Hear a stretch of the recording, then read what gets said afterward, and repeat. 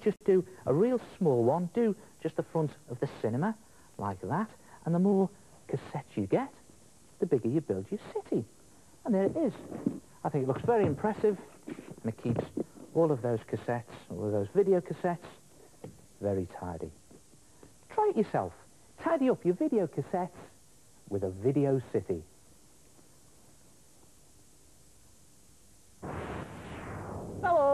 It's me again, the head. Now, just glue your empty cases together, add a cardboard base, a door and sand, and with the help of some papier-mâché and paint, you'll have built your very own city. But please remember to put your videotapes safely to one side before you start. Otherwise, they'll end up like this. It's quite sad, actually, because my favourite films were on those. Oh.